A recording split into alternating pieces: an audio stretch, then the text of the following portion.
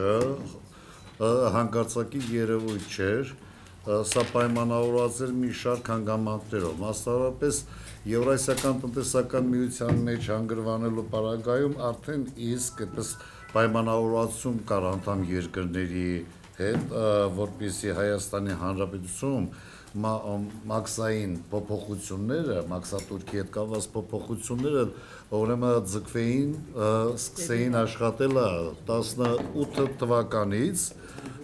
որը ակնհայտորեն արդեն իսկ հայտնի էր, որ բերելու էր թանկացման, որտեղ ըստ էության Հայաստանի Հանրապետություն միջև օրս եղած մաքսատուրքային պարտավորությունները հասկանալի է մեր մոտ ունեմ արտահանում ներմուծման համար եւ ընդհանրապես սահմանված այդպես մակարդակներ կար 0-ից 15% շատ ապրանքների ապրանքատեսակների կտրվածքով 10%, բայց Եվրասիական տնտեսական միության մեջ գտնվելու պարագայում այս հարաբերությունները ուրեմն փոխվում են դե բարձ է բարձրացման ուղղությամբ ուրեմն պայմանավորված այս հանգամանքով ընդհանրապես հայտնի էր որ արդեն նույն մաքսային տարածքում գործելու պարագայում ուրեմն ակնհայտորեն պետք է թանկացումներ տեղի ունենային եւ մոտավորապես այդպես գնահատվում են 700-ից 800 ապրանքատեսակներ, այդ թվում նաեւ ասեք, կարաչի առանձնաժության ապրանքների կտրվածքով, այո, կլինեն թանկացումներ, բայց միայն սրանով չէր պայմանավորված։ Տեսեք, ուրեմն կա նաև, ասենք, ակցիզային ապրանքների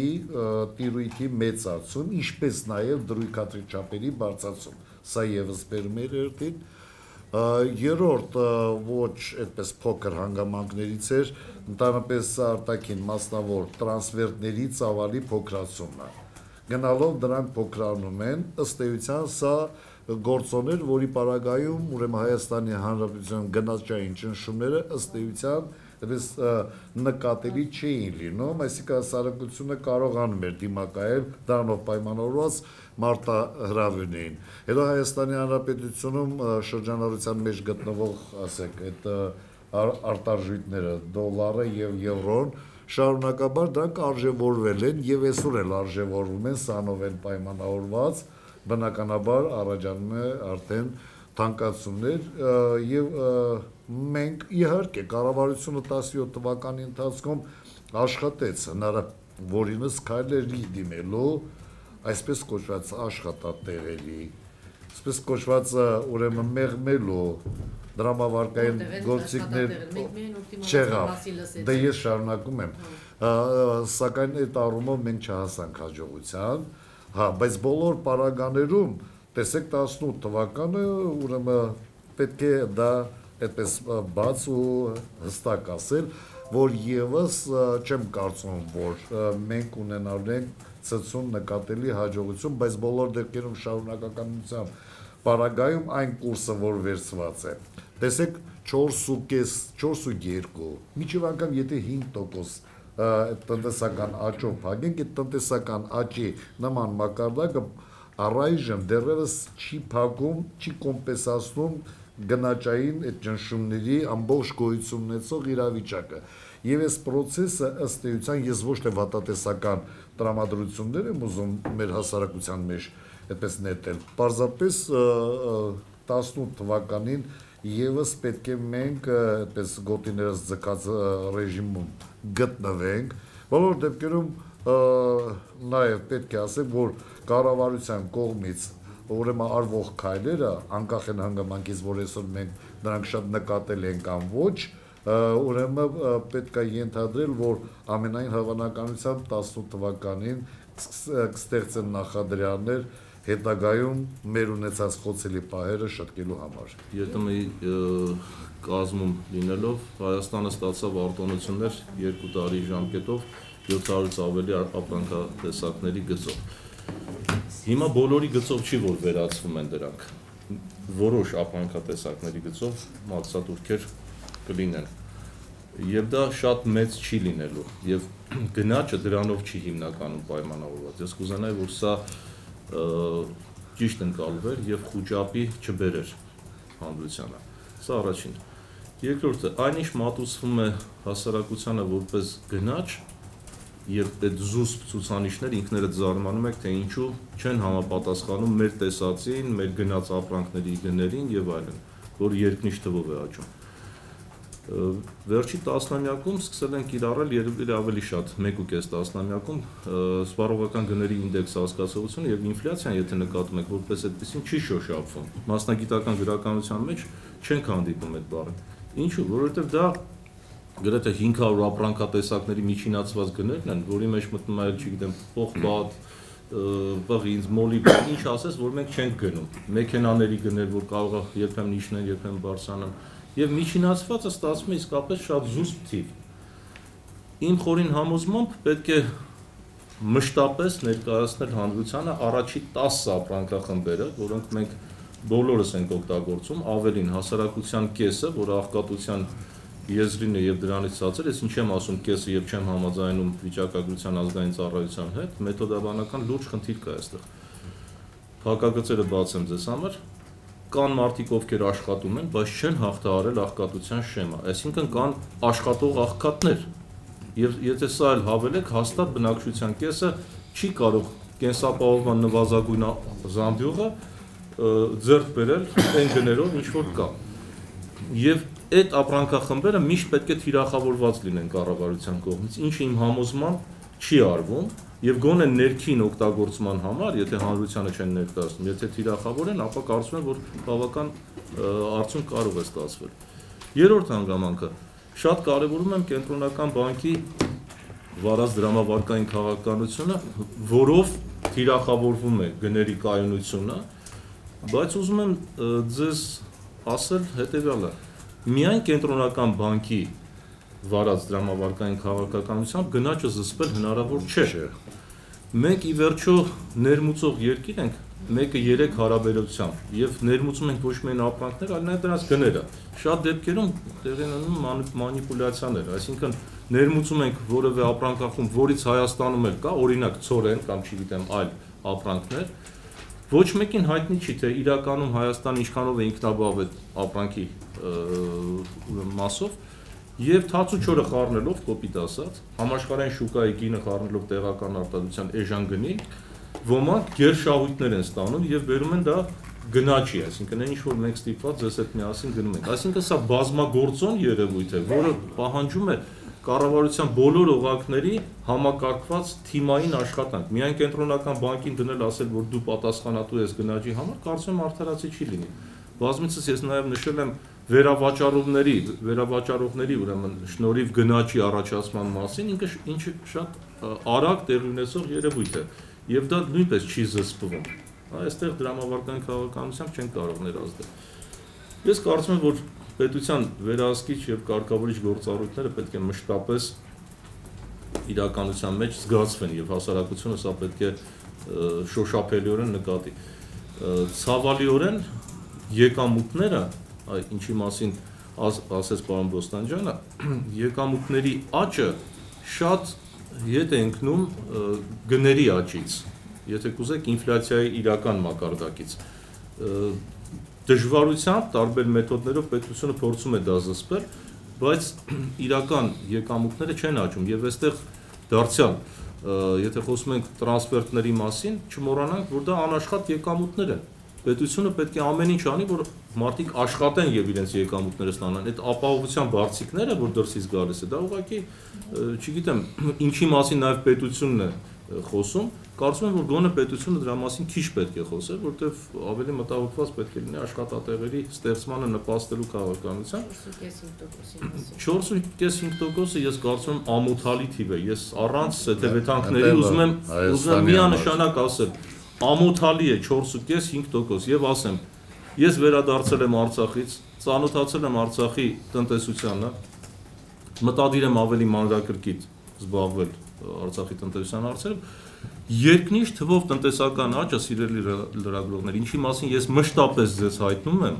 եւ ոմանց մոտ տարակուսանք է առաջանում, գնացեք եւ տեսեք Արցախում։ Իրականություն դարձած։ Ես կարծում եմ տարին կփակվի 17% գրեթե տնտեսական աճով եւ սա սկիզբն է այսինքն պետք է մեր որոշ տնտեսության ղեկավարների այցելել Արցախ ոչ միայն այսպես հպանցի կամ պարզապես ուրեմն հանդիպումներ ունենալ, այլ պետք է ճանաչել այդ ուրեմն գաղտնիքը որն է։ Ես կարծում եմ, որ այստեղ շատ գաղտնիքներ չկան, հետևողական աշխատանք է պետք եւ Արցախը իսկապես մեզ համար կարող է լավագույն օրինակը լինել։ Ես համոզված եմ, որ Հայաստանը ունի շատ ավելի ներուժ տնտեսական աճը ավելացնելու համար։ Ուզում եմ հավատալ, որ այդ 4-ից 5% տնտեսական աճ ինչի մասին շատ խոսվում է, դա նվազագույն սահմանը պիտի լինի, բայց դրանով մենք երբեք այս տարածաշրջանում գոնե, եթե ոչ աշխարհում, եթե ուզում ենք մեր տեղ ունենալ, նման տեմպերով ավելի հետ ենք ընկնում եւ ոչ թե առաջ։ Երկու յուրահատկություն կա։ Մեղրո ազատ տնտեսական գոտին չպետք է շփոթել այլ ազատ տնտեսական գոտիների հետ։ Սա մեր սահմանային է մեկ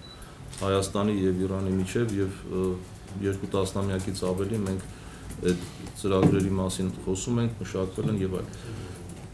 Երկրորդը իր կարևորությամբ դա երկու երկրների միջև չէ իրականում Իրանի եւ Եվրասիական տնտեսական միության միջև է այս ազատ գոտին, որը հնարավորություն է ընձեռնում միացնել 180 միլիոնանոց եվրասիական շուկան 80 միլիոնանոց իրանական շուկայի հետ եւ Հայաստանը շատ բացառիկ հնարավորություն է ստանում եւ Իրանի հետ եւ Եվրասիական տնտեսական միության անդամ երկրների հետ համագործակցաբար լավագույնս աշխատել իրացնելու ազգային մրցակցային առավելությունները։ Դարձյալ մի հարցրեք, թե դա ինչ կտա Հայաստանին, որտեղ դա ոչինչ չի տա, եթե մենք չենք այդպես ասում, մտնում ենք չգիտեմ ինչ։ Չէ, չէ, չէ, չէ, ես նման բաներ չեմ ասել, այդ հեղինակները ուրիշ են, որոնք պլյուս 4 տնտեսական աճ են ասում, հաստատ հասցեները մի փոքր շփոթում եք։ Ես միշտ այն կարծիքին եմ եղել, որ ցանկացած տնտեսական ինտեգրացիոն ձևաչափ մեզ միայն հնարավորություն են ձեռում։ Կաշխատենք դա ճիշտ օգտագործել, կստանանք արդյունքներ, չէ, մենք երբեք որևէ արդյունքի չենք հասնի, որովհետև այն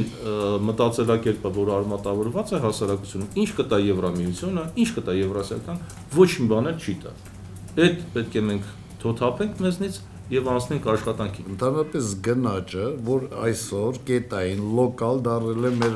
հասարակության համար օղապարան, ընդհանրապես մարդկության ցագման օր պահից միջև օրս գնաճ միշտ տեղի է ունեցել շարունակաբար բոլոր աշխարհներում, հարուստ երկրներում։ Ուրեմն ես ձեզ ասեմ, պարզապես գնաճ չի կարող տեղի չունենալ քանի որ պահանջարկը մեծանում է, որպես կանոն առաջարկը չի կարողանում հասնել պահանջարկին։ Եվ այս պարագայում պարզապես պետք է սուբյեկտների մարդկանց մարդկանց եկամուտները բարձր լինի։ Այսինքն Հայաստանի Հանրապետությունը, ինչպես նաև այդպես նոր հայտնագործություն չեն կանում։ Դա անունը կդնենք տնտեսական ազատ գոտի, համագործակցություն, կապող օղակ, ասենք տարբեր աշխարհների կողմից, տեսեք, մեր մոտ ձևավորված այսպիսի հոգեբանություն կա։ Հետաքրքիր է, սա ինչ կտա մեզ, նա ինչ կտա մեզ։ Պարոն Մանասիրյանը արդեն ասեց, ես էլ բազմիցս ելույթ եմ, ոչ մեկն էլ ոչ մի բան պետքա չտա քեզ։ Իսկ ինչու դու պետքա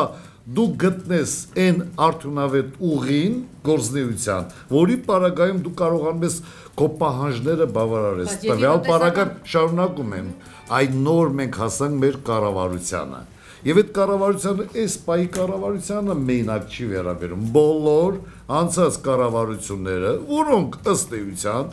գիտեք, հանկարծակի չմտածեք, թե մենք ստացել ենք ազատություն եւ կառավարություններին կարողանում ենք խոցելի բաներ ասել։ Պարզապես անցած կառավարությունները ըստ էության չեն կարողացել մեր խնդիրները ժամանակ գնաց չկար Ինչպես։ Այսպեսի գնաց չկա։ Դա գիտեք ինչի համար,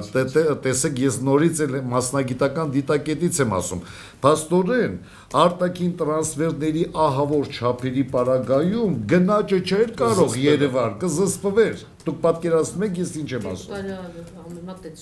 Իհարկե խիստ տարբերությունը մեծ է։ Տեսեք, խոշոր առումով սա ուղղակիորեն ֆունկցիոնալ առումով կապված է հենց արտագաղթի հետ։ Արտագաղթը քանի որ կրում էր առանձին լոկալ բնույթ, հիմա ընտանիքներով են գնում։ Եթե ընտանիքով գնում նա արդեն տրանսֆեր չի ուղարկում։ Դուք պատկերացրեցիք, արդեն կդր ինչի համար ումը ուղարկի։ Խոշոր առումով դրա համար է ծավալի, իսկ պատկերացեք, ուրեմն միայն պաշտոնական բանկային խողովակով մասնավոր տրանսֆերները միշտ եղել են 2 միլիարդ դոլարի չափով, իսկ ոչ պաշտոնական արդեն միասին 4 միլիարդ, Առնվազն։ 4 առնվազն 4-5 միլիարդի չափով։ Սա Հայաստանի Հանրապետության նման ոչ մեծ երկրի համար չափազանց կարևոր գործոն է, այո, որբիզի չկա, եթե տրանսֆեր կա, տնտեսություն Չէ, հետո չմոռանանք, որ արժույթը կամ արժույթները մշտապես արժեզրկման Հիմա Անժելա, տեսեք, ես ասում եմ, փաստորեն գրեթե 5 միլիարդ դոլարի համարժեք այդպես տրանսֆերները ըստ էության փաստորեն գնային ճնշումներ որպես այդպեսին չէին ենթադրում բայց բոլոր դեպքերում դուք ճիշտ եք ասում այսինքն տրանսֆերների այդ որ մենք միշտ ասում ենք ուրիշի հաշվին ապրելու դսից եկած փողացը դա մեր դա նշանակում է որ մեր տնտեսությունը չկա որպես այդպեսին Ես այս պայմաններում չեմ հավատում նման կառավարության քայլերին եւ չեմ հավատում, որ սպառվել է պոտենցիալը։ Այն պայմաններում, երբ գիտությամբ զբաղվելը, գիտելիք ստանալը եւ դրա իրացնելը, մենք երկուսս էլ պրոֆեսորներ ենք եւ մտնում ենք լսարան, ուզում ենք կրթել ոչ թե վաղվա գործազուրկին, այլ մարդու, որ վաղը մեր գործընկերը կարող է լինել։ Այդպես է թե չէ, պարոն Կոստան ջան։ Բայց իրականում լավագույնները հեռանում են։ Ինչու՞, որովհետև կառավարությունը ձևավորել է մի շատ հետաքրքիր մշակույթ, կառավարությունները եւ բացառություն չի ներկայիս կառավար չնկատելու հա մշակույթ այսինքն լավագույններին չեն ուզում նկատել կողքները մա- մարդիկ կան որոնք բացարձակ իրենց տեղերում չեն Հայաստանը չեն ճանաչում մեկ առ մեկ ես կառավարության անդամներին կարող եմ ասել խորհրդականներին որոնք չեն ճանաչում Հայաստանի ոչ մարդկային ռեսուրսները ոչ անկաունկային ոչ արտադրական ոչ էլ ֆինանսական եւ դրանք խորհուրդ են տալ ինչ խորհուրդ են տալիս ես չեմ կարողանում հասկանալ զարգացման հիմնադրամի ղեկավարը բացարձակ բոբիկա Հայաստանից ռազմավարական կենտրոնի ղեկավարը բացարձակ չի ճանաչում Հայաստանը այս մարդիկ չեն կարող տնտեսության համար ճիշտ խորհուրդներ տալ այդպիսի պատրաստված կիրթ ղեկավարի, ինչպիսին մեր վարչապետն է։ Ավելի լավ պետք է պատրաստված լինեն։ Եվ մինչև չլուծվի երիտասարդների զբաղվածության խնդիրը, որը ամենամեծն է գործազրկության տեսակարար գշրով, ես չեմ հավատալու, որ որևէ ծրագիր կարող է իրականություն դառնալ։ Եթե այդ չնկատելու քաղաքականությունը պետք է շարունակվի, ուրեմն ովքեր են առաջ տանելու տնտեսությունը, տատիկներն ու պապիկները, թե երեխաները։ Դրսից բերած կադրերով։ Դրսից Այդ կադրերից պետքա հրաժարվել։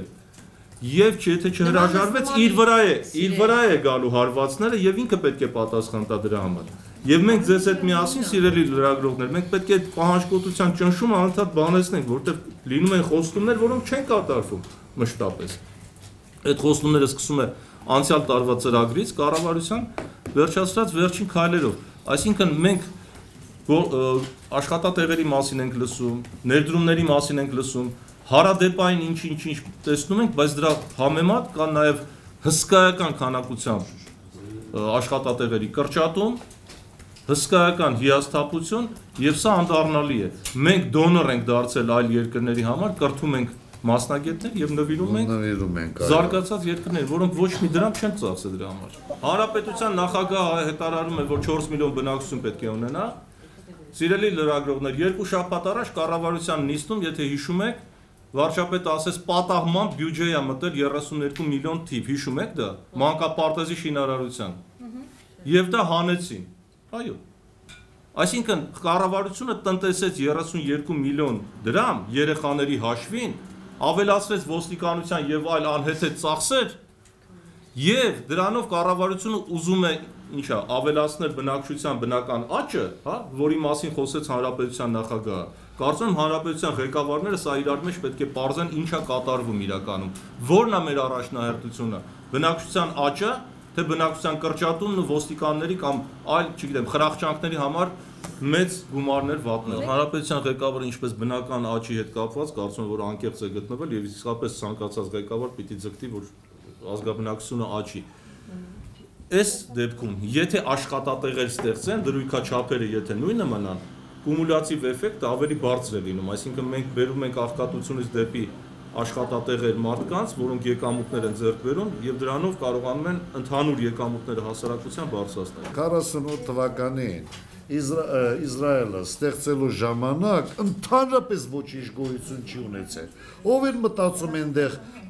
ուրեմն բնակչության քանակի մասին, հողերի մշակման մասին, արտադրության ստեղծման, բայց մարդիկ վճռականությամբ տրամադրվեցին։ Հիմա դուք ասում եք լավատեսական եք թե ոչ այդ բանի նկատմամբ 4 միլիոնի։ Ոչ, ես 6 միլիոն էլ կուզենամ։ Գիտեք ինչպես, հիմա ես ձեզ ասեմ, բոլոր պարագաներում ուրեմն մարդը ապրում է այնտեղ, որտեղ իր համար լավ է, բոլոր առումներով է լավ, եւ աշխատանքի, եւ վաստակի, եւ ապրուստի։ Հիմա բոլոր դեպքերում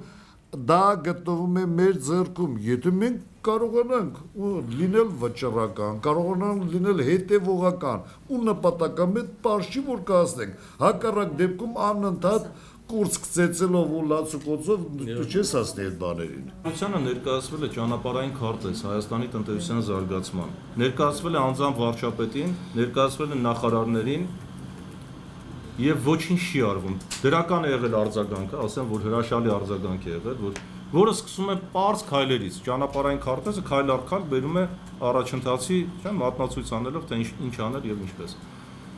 Հաշվառումից ռեսուրսների, հա,